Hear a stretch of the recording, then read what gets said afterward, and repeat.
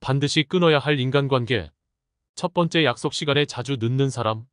누구나 살다 보면 예상치 못한 일을 만나게 될 수는 있다. 한두 번은 약속 시간에 늦는 것은 당연할 수 있다. 하지만 예상치 못한 일이 아닌 그냥 약속 시간에 늦는 것이 습관인 사람과의 관계는 분명히 좋은 관계가 아닐 가능성이 높다. 사실 지각을 자주 하는 사람은 습관적으로 지각을 자주 하는데 이들은 자신의 시간은 소중하게 생각하는 반면 다른 사람의 시간에 대해서는 소중하게 생각하지 않는 사람일 가능성이 높아 특히 다른 사람들이 자신을 10분, 20분 기다리는 것에 대해 별로 대수롭지 않게 생각하면서도 자신이 먼저 왔을 때 다른 사람이 늦게 온 것에 대해 핀잔을 주거나 대화 사이사이에 끊임없이 다른 사람의 지각에 대해 어필하는 사람이라면 너의 인생에도 부정적인 영향을 줄 가능성이 매우 높다. 시간이라는 것은 사실 돈보다도 더 가치 있는 것인데 자신의 시간만을 소중하게 생각하고 다른 사람의 시간을 우습게 생각하는 사람은 절대로 만나지 말아야 할 사람 중에 하나다. 두 번째 돈 문제가 지저분한 사람. 하나를 보면 열을 알 수 있다는 말이 있다. 특히 돈 문제에 있어서만큼은 그 정확도가 매우 높다고 할 수 있는데 큰 돈이 아니라 작은 돈을 가지고도 지저분하게 구는 사람들과의 관계는 좋지 않게 끝날 가능성이 매우 높다. 예를 들어 급하게 10만원 정도를 빌리게 되었다면 그 돈은 정확히 그걸 돌려주기로 한 날짜에 돌려주어야 한다. 물론 사정이 어려워서 또는 다른 급한 이유가 생겨서 제 날짜에 돌려주지 못하는 경우도 있을 수 있다. 하지만 그런 이유를 포함해 여러 가지 이유를 대면서 계속해서 주어야 할 날짜를 미루거나 빌려준 사람이 그 돈에 대해 말을 하기 전까지는 전혀 내색하지 않고 심지어는 모르는 척하는 사람들이 있다. 이렇게 사소한 돈이라고 해서 다른 사람의 돈을 소중하게 생각하지 않거나 도움을 받았다는 사실 자체를 망각하고 있는 사람은 그냥 색안경을 끼고 봐야 한다고 생각한다. 이런 사람과의 관계는 그냥 끊는 것이 가장 현명한 해결책이고 앞으로의 인생에 있어서도 불필요한 시간적, 에너지적 낭비를 막을 수 있는 방법이다. 이런 사람에게 빌려준 돈이 큰 돈이 아니라면 그 돈은 수업료라고 생각하고 그냥 없는 셈 쳐도 괜찮다. 이런 사람이 장기적으로 당신의 인생에 미칠 악영향을 생각하면 그건 무척 저렴한 수업료이다. 세 번째 폭력적인 성향이 있는 사람. 사람들 중에는 유독 폭력적인 성향을 나타내는 사람들이 있다. 이런 사람이 친구라면 그 자체로도 문제지만 특히 문제가 되는 건 이런 사람을 애인으로 둔 사람이다. 폭력적인 성향의 사람을 곁에 두면 반드시 문제가 된다. 맨 정신이든 술에 취해서 그러는 것이든 일정한 수준의 선을 넘는 폭력적인 행동을 보이는 사람들은 굳이 곁에 두지 않도록 조심해야 된다. 이런 사람들은 폭력의 대상을 가리지 않고 결국에는 그 폭력이 언제든지 나에게도 향할 수 있다. 인간을 고칠 수 있다는 생각은 오만이다. 이런 사람은 그냥 버리고 더 겸손하고 진실한 사람과 잘 지내도록 노력하길 바란다. 세상에 폭력적인 사람보다 친절하고 상냥한 사람이 훨씬 많다는 것은 정말 다행스러운 일이다. 하지만 인생이 항상 생각한 대로 원하는 대로만 이루어지지는 않다. 그렇기 때문에 언제 어디서든 스스로를 지킬 수 있도록 몸과 정신을 꾸준히 단련시켜야 된다. 폭력적인 성향이 있는 사람이라도 몸과 정신이 건강한 사람에게는 함부로 할 수 없고 최악의 경우 극단적인 상황에 처하더라도 스스로 빠져나올 수 있을 것이다. 인간의 본성은 쉽게 바뀌지 않는다. 그래서 폭력적인 성향이 있거나 당신과 맞지 않는 사람과 관계를 유지하고 서로 맞추어 가는 노력을 한다는 것은 매우 소모적이고 불필요한 일이다. 설사 관계를 끊어야 할 사람이 가족이 될지라도 당신의 인생을 좀 먹는 관계는 반드시 끊어내야 할 필요가 있다. 만만하게 안 보이는 방법이 있을까요? 첫째로, 가능한 분명하고 정확히 말해야 합니다.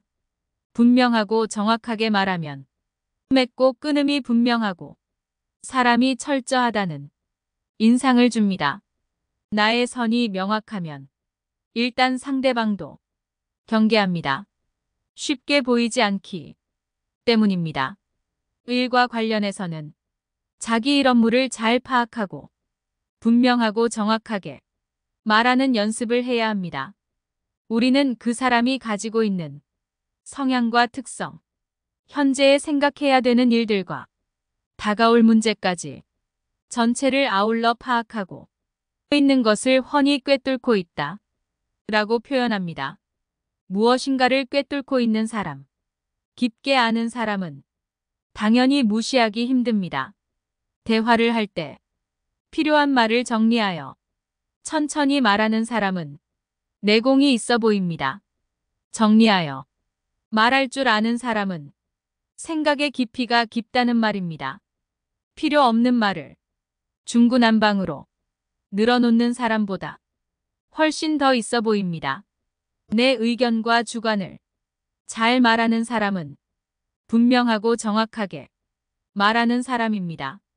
여기에 상대방을 배려하고 자신의 의견도 덧붙일 줄 아는 사람은 능력이 있는 사람입니다. 주위 사람으로부터 인정받고 존경받게 됩니다.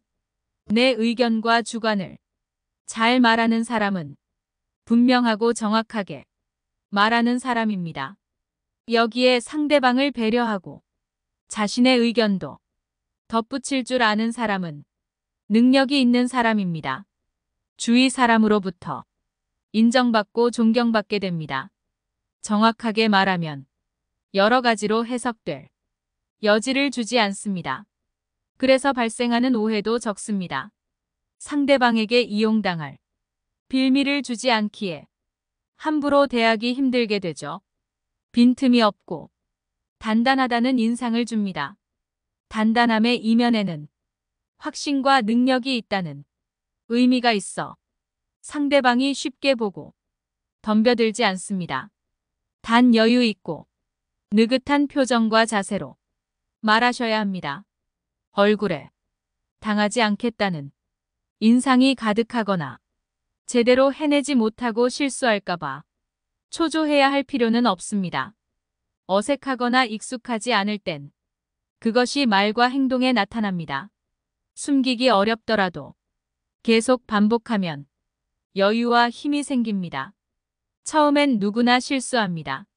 나이에 상관없이 몸에 익지 않으면 언제든 실수할 수 있습니다. 너무 개의치 마십시오. 처음에는 잘 되지 않고 어렵더라도 분명하고 정확하게 말하는 것이 이익입니다. 계속 자신의 행동을 일관성 있게 유지하면 무시당하지 않습니다. 무시받는 것은 자신의 말과 행동에 확신이 없을 때 일어납니다.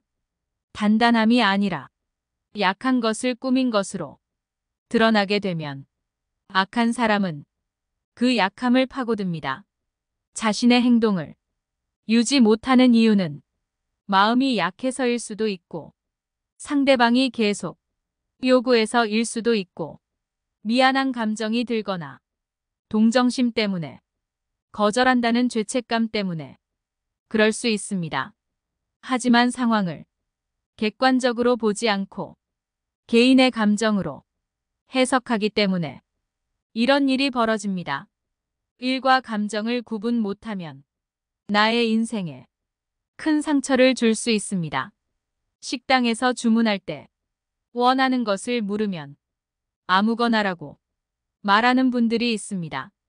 관심이 없을 때에는 이렇게 말할 수 있지만 자기 주장이 없거나 거절을 힘들어 하거나 다른 의견을 내는 것이 어려운 사람일 경우 아무거나라고 표현하는 경우가 많습니다. 이 경우 다른 사람에게 주관이 없고 약하다는 인상을 줍니다. 이것이 발단이 되어 무시하는 행동을 불러들이기도 합니다.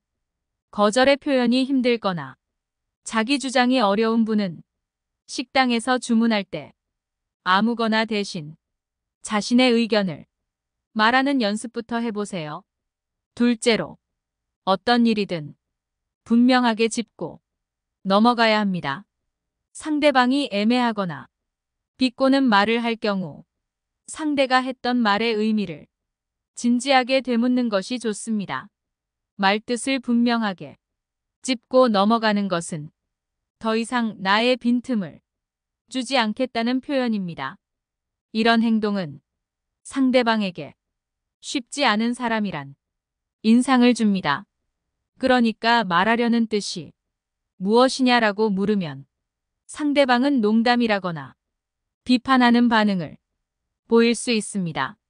이럴 때는 그냥 궁금해서요라고 대답하면 됩니다. 모든 사람에게 따지고 까칠하게 대하라는 것이 아닙니다. 따지고 까칠할 상황과 그렇지 않은 상황을 구분하는 것이 중요합니다. 상대방의 감정에 내 말투와 행동이 어떤 영향을 주는지 이해하는 것이 필요합니다. 공과 사를 구분하고 원칙에 따라 행동할 경우에는 이해되는 부분이지만 상대방의 감정을 고려하지 않은 채 매사를 따지고 까칠하다면 세상을 살아가는데 어려움이 발생할 수밖에 없습니다.